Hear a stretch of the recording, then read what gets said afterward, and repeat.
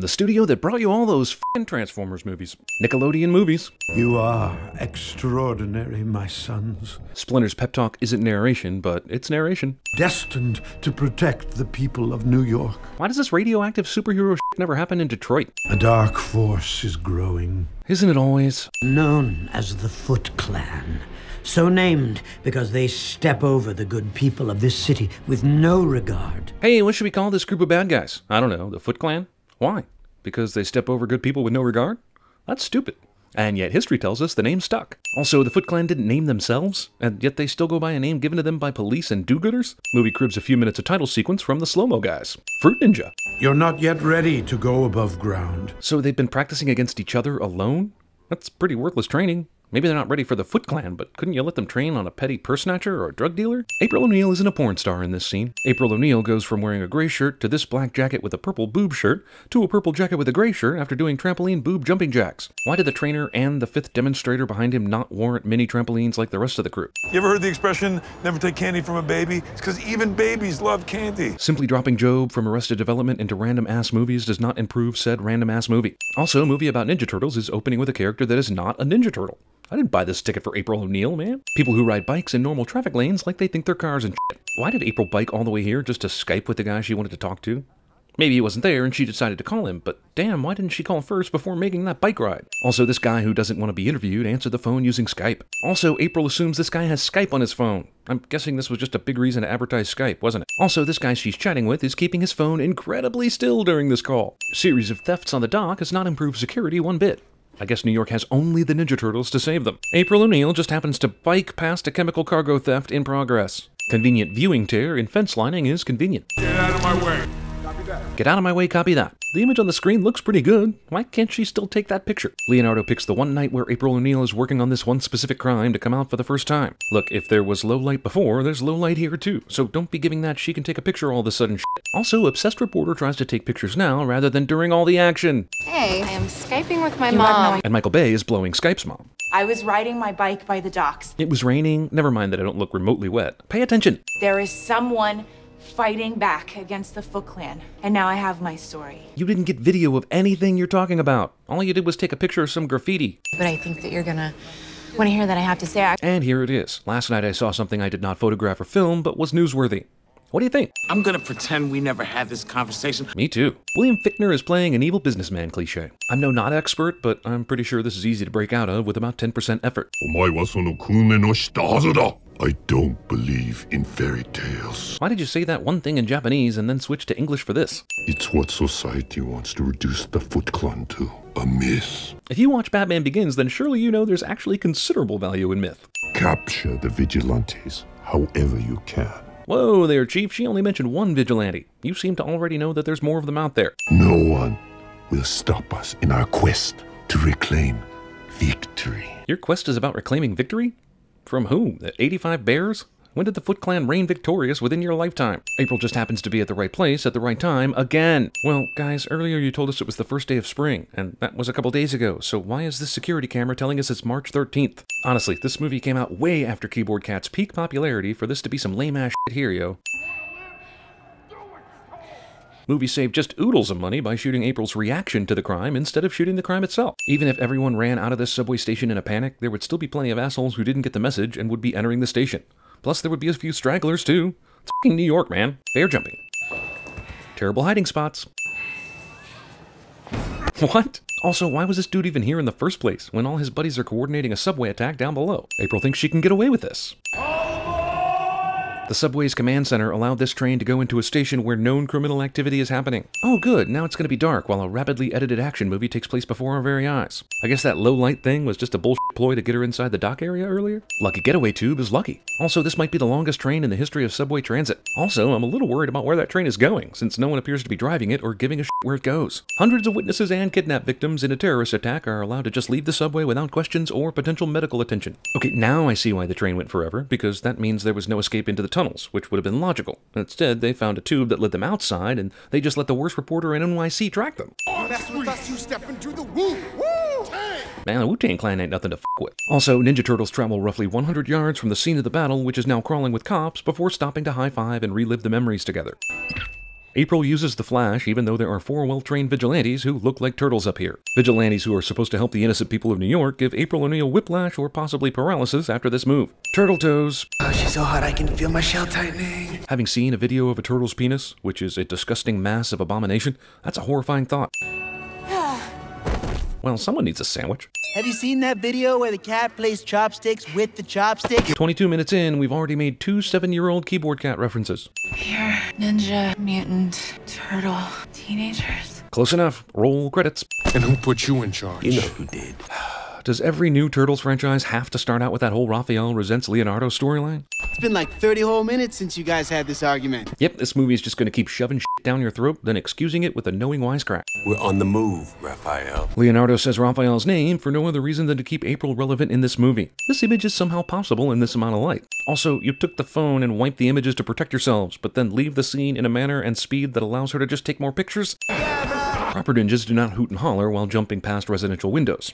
I know, they're teenagers, but this shit is not going unnoticed in New York City. I guess it's a good thing no one closed this manhole cover, and that the sewer is built to become an instant slide after jumping 100 feet off a building. Sewers in New York that are devoid of human waste. Speed! 3D things! Sewage!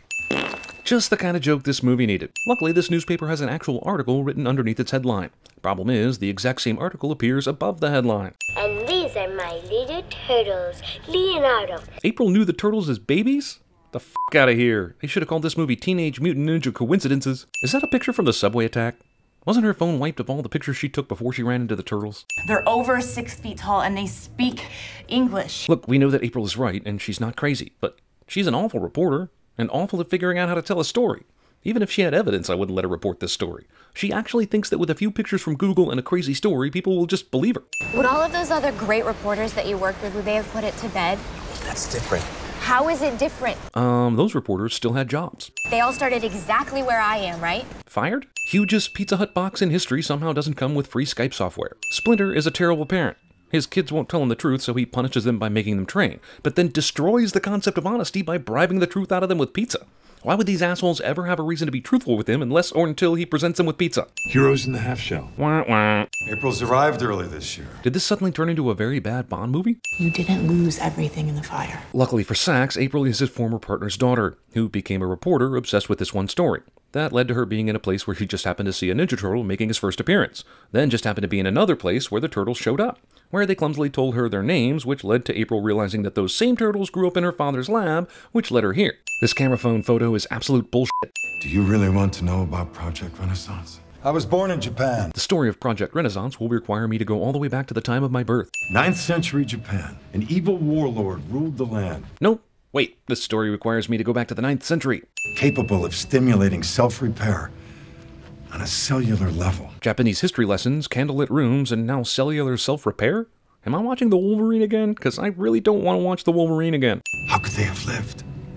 Because I saved them. Coincidence? Meet my friend Overkill. Also, you ran into a burning lab and saved the turtles and a rat, but not your father? This business card will help Sacks track April's movements, but he puts a lot of faith in the fact that she'll carry this around everywhere with her and not lose it. I'll show you up. Yeah, but didn't Vern leave her here? Thanks for the ride. Nothing better than dropping off a pretty girl at a rich guy's house. Somehow she gets back home in the next scene, apparently without any more Will Arnett hijinks. Google is, for some reason, tracking this random vigilante website's subscriber number, and they put the comma in the wrong place. Also, this search shows the local NYC time as 1.28 p.m. Problem is, we just saw that it's nighttime. Luckily for Sacks, the turtles immediately hack April's computer right when she gets home, so that the business card he gave her can lead him right to the turtles. Which is why it's odd that the Foot Clan, which is currently monitoring April's movements, doesn't try to attack when they're out in the open. Right here. Initiating retinal scan. Scanning, scanning, scanning, scanning, scan complete. It's her! Donatello may be a computer and gadget wizard, but there is no database of US citizens' eye scans he could possibly have tapped into for this bullshit to work. The wall of boomboxes is a cool shot, but they stole all these things, right? Surely they're not out spending what few human dollars they have on excessive boomboxes. Streets, rooftops, Google Maps. We've breached the cloaking security. This bullshit works all the way down into the sewers from some satellite. This is basically the Amazing Spider-Man origin story, complete with the good doc, bad doc partnership. And you, as always, provided us with a special treat. Doctors allow a child to wander around the lab during a sensitive experiment, feeding the control group pizza slices. A Bluetooth-enabled camcorder with that much zoom 15 years ago? The f*** out of here with that lazy-ass product placement. Bluetooth was only invented in 1994, and Micro MV, a proprietary Sony technology, wasn't released until 2001. Your father had discovered the truth behind the man he was working for. Damn, you have an amazing memory, considering that while you were getting drug treatments at this point, you were still, by all evidence, just a fucking rat. His last breath was taken trying to destroy Shredder's plan. Whoa, whoa, who said anything about Shredder during all the time you were locked up in the cage? Did Sacks talk about Shredder a bunch while he was there? Did Sacks and Shredder have impromptu ninja sessions in the lab? I was terrified, but then you appeared. Even if this girl hung around the lab sometimes and fed the animals pizza, you're telling me she was there two minutes after her father set the place on fire and without her father? And ushered us to safety. Sewer equals safety. Like all children, they were drawn to the distractions of popular culture. Somehow they were able to watch a music video with CD quality sound even though the store above them is clearly closed, with all the TVs behind glass and a storefront security gate. Conveniently discarded ninja books. Splinter takes one look at some books, becomes sudden ninja master in a matter of hours. At least in the 1990 version, he saw the moves being performed. The turtles were then able to get into remarkable ninja shape by eating pizza all the time. you a turtle soup later. Yeah, but it'll be all radioactive and stuff. This wasn't discussed before you came down into the sewers. Soldiers who came in with tranquilizer guns decide to fight Splinter hand to hand instead of just tranking his ass. In this shot, we learn that the turtles not only order Pizza Hut pizza, but also only order Pizza Hut pizza. Shredder. How the f do you know that? As we were just told a minute ago, Sacks just built this suit for Shredder. For all you know, it could be a giant robot or Tony Stark. Also, Shredder is Megatron. Should we call him Shreddatron or Smegmatron? You think you're their father? Finger swords. Shredder is already a master of a suit that he got like an hour ago. Sensei! After we've seen the turtles easily holding their own against multiple Foot Clan soldiers, Leo gets taken out by three with taser sticks like a bitch. Of course, Leo fights off the bad guys, but not in time to save his master. Splinter, who was handling Shredder for the most part on his own for a while, decides his four ninja sons can't help sway the battle despite 5 on 1 odds, and locks them out of it so he can die a martyr. In other words, this is one of many New York City rat deaths that are completely unnecessary. Do the shock things work even by hitting only the shell? Are those things conductors? Oh, f it. Where's the fourth? He's dead. Unconfirmed kills. Also, Shredder is content not to look for his body, even though it would take just a fraction of his army to go and find it. Also, Foot Clan soldiers follow Destroy This Place orders in a way that leaves April O'Neil alive. Nice rainy shot of the perp walk shit, but when the Foot Clan and Shredder arrived, it was about as sunny as possible in New York. Then we go right back to sunny as hell for the raft climbs out of the rubble shot. Also, could this rising out of the rubble shot be any more of a Transformers movie shot if it tried? I mean, other than replacing the turtle with a robot, of course. Let's get into the needle room. Shredder leaves his adversary alive because he read the villain's guide to fing up your own plan. Movie studio uses movie to pimp future movie. And will be arriving at the state in approximately 40 minutes. There is no way Sacks Estate in the snow-capped mountains is 40 minutes from the heart of New York City. And we will drain every last ounce of their blood to get it. Even if it kills them. Um, draining every last ounce of blood from any living creature will kill it. Also, Under Armour came to Paramount and said, We'll pay top dollar to be the shirt the bad guy is wearing during the every last ounce of blood scene. Some kind of a tracker. It's Donatello. Why is it working just now? We need a ride. And a reason to squeeze Will Arnett back into the movie. But movie earns two sins taken off due to mustard and parmesan Arrested Development reference. Kenny G. Oh, Neo. How the f do you know that? She called from a payphone, dick. Even if you want to say the sun came out after the rain, there's no way all the rain dried up this quickly. Drive. Raphael waited the entire Will Arnett hits on Megan Fox scene to finally get impatient. We had this plan. And I'm going to tell it to you, despite the fact that you don't need to know and you're just here to provide me with the mutagen I need. This is so you can thwart the plan later. Sacks believes that if he doesn't show a demonstration of what poison gas does, the turtles will be clueless, and it'll be harder to thwart the plan later. The government will then send Sacks Industry a blank check, and I'm gonna be rich. Like, stupid rich. Aren't you already stupid rich? You live in this mansion. Look, I'm not knocking your capitalistic ways here, but you're not even married. You don't have a family.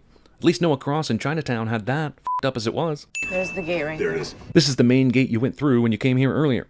But now you're going into an area of the estate you should have no fing clue about. Also, somehow this part of the estate is completely unguarded, with no security features of any sort. Also, Van is strong like bull, smashes through two huge doors with no damage whatsoever. Ninja with a machine gun kills neither April nor Vern. Well, I guess there was just no other way to get out of the van. This is just comically awful shooting. Time to take a bite out of the Big Apple. The director said, let's have you take a bite out of the Big Apple. It'll make you seem like even more of an asshole. Wait, didn't we see Raph put all the other turtles' weapons on his back before leaving the hideout? Where the hell are they now? You. Shredder concerns himself with April, for reasons completely unclear. Three, four total turtles. One's fighting a robot samurai.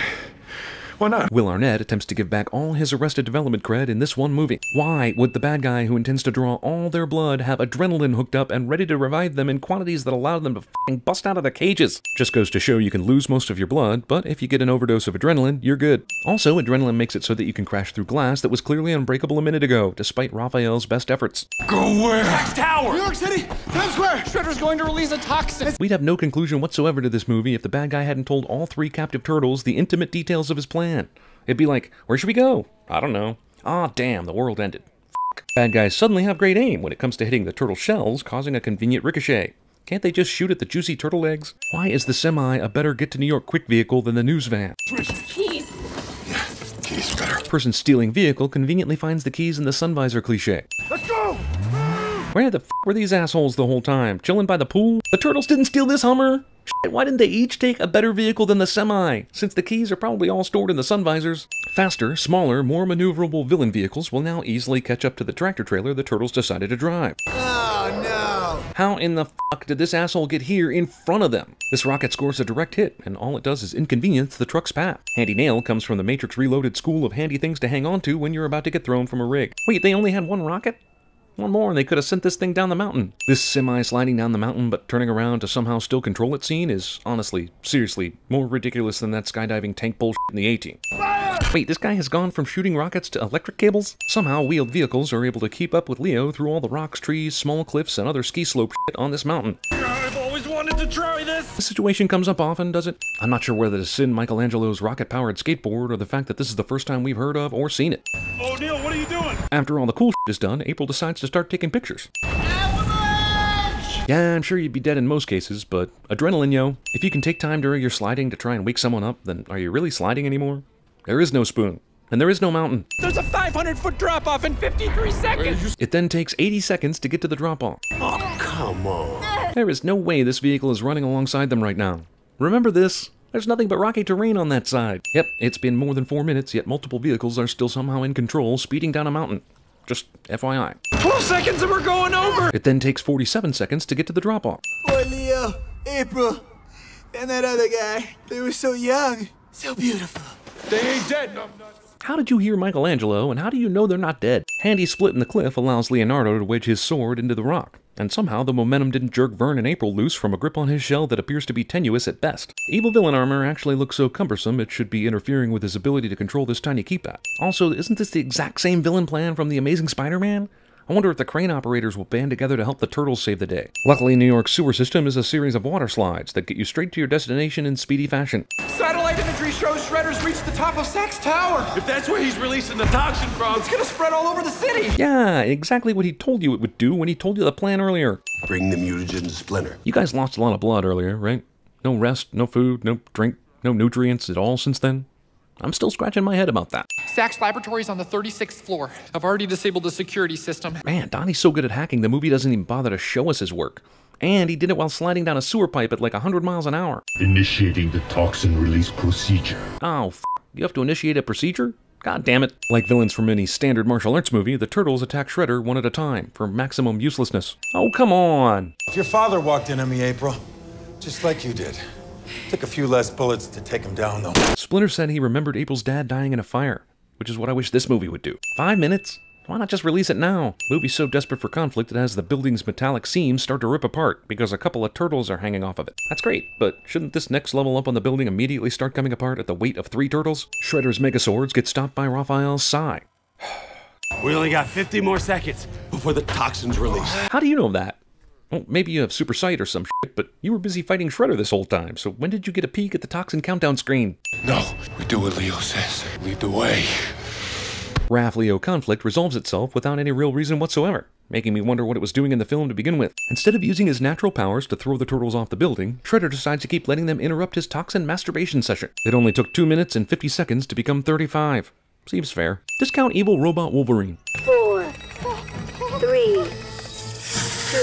Timer-based doomsday device deactivated with 2 seconds left on the clock. Swords now have the ability to cut down this huge tower with no problem, even though a minute ago they could not beat Raphael's Sai.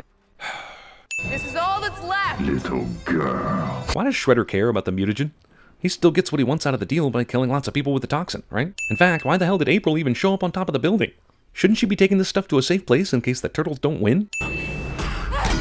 Uh, no. Also, it's gonna take some serious Skyping to get out of this jam.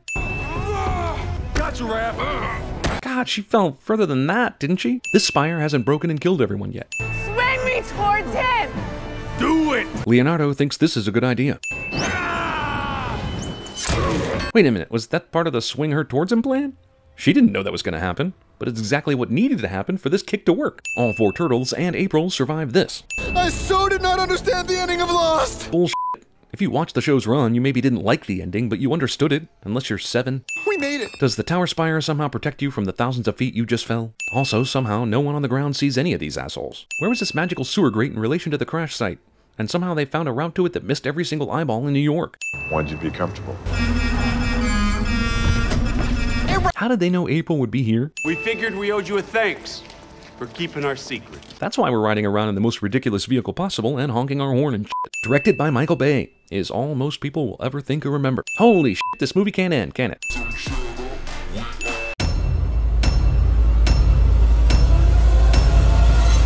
It's nice. It tastes good. It's candy.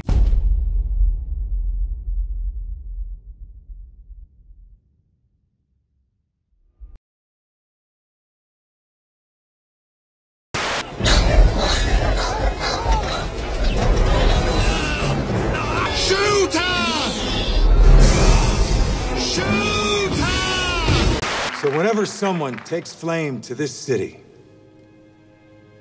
I will be there to put the fire out. And remember, wherever there is injustice, you will find us. You will find the Three Amigos! Oh shit! This is crazy,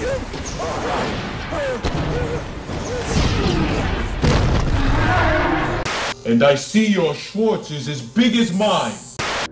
And you gave us freedom. Such a. Give us us free! If we are to have any semblance of order in this courtyard. Give us us free! Don't tase me, bro! Don't tase me! I didn't do anything! Ow! The government will then send Sacks Industry a blank check, and I'm gonna be rich. Like, stupid rich. Why are you doing it? How much better can you eat? What can you buy that you can't already afford? The future, Mr. Gittes.